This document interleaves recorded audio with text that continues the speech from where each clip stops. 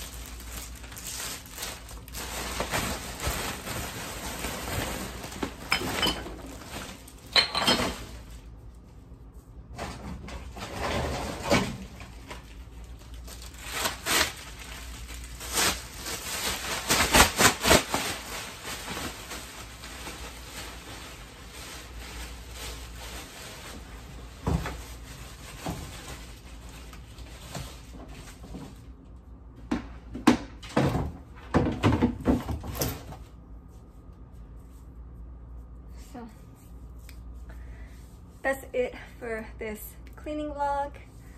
Um,